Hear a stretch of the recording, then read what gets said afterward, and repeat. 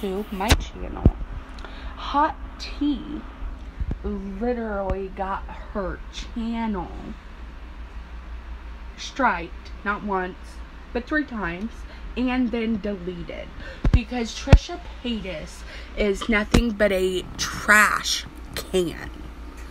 And she was Hot Tea was uh, was a fan, a subscriber, a person who liked Trisha Paytas, and Trisha Paytas got her channel deleted, which is fucking bogus as fuck. Wholeheartedly, I'm so sorry for not reaching out sooner. 100% my fault. I feel terrible. You do not have a good experience with this was my mistake, not Trisha's. We definitely wanted to make this right, so $501 has been refunded to you and we'll show up in about five to seven business days. Kind of felt bad for not having waited longer, but the thing is, I couldn't have waited an entire month because I got the membership on the 7th and they would have renewed the membership on the 1st of January. So they would have charged another 500 freaking dollars without having given my shout out. I admit, I could have like waited an extra week or so. But to be honest, even that, I don't think it would have like waiting have, would have done anything. I thought we ended on a good note because like, you know, we were just being nice to each other and I thought it ended right there. Like, to be honest, I was gonna create an update video until I got a notification for a copyright strike on a video that I posted like a month ago. I was so sad. Like I was more sad about the copyright strike than I was about the $500 initially. The copyright strike will get removed from my record um, on the 17th of March, so I was like, I'll just wait it out, you know, beat it down. But then I woke up this morning to another copyright strike.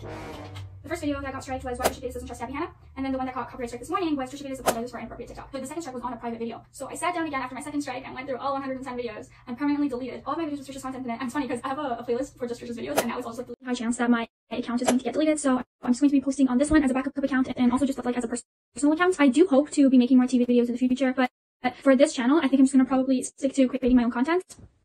I've been wanting to make a personal channel for a while now, but it, it's just kind of sad and unfortunate that this is the circumstance that I had to